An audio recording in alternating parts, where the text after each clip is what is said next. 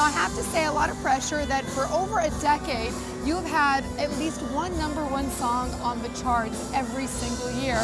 And I'm just kind of curious to hear from you what you think makes a really good country song. Well, the truth, you know, honesty. I think that um, songs, songs, you know, are great. I mean, the, the songwriters, I think, are, are the most talented people that, that are in this business or any, any kind of art. It's, it's songwriting. So finding a, a great song and delivering it honestly. And that's true because people can connect to it because they know that it comes from the heart and they know that the truth is you can't go wrong with truth, right? That's right, absolutely. or write about lying and then having to tell the truth. Well, you can go wrong with truth. It just depends on where you tell it. Yeah, that's right. and we can write about that too.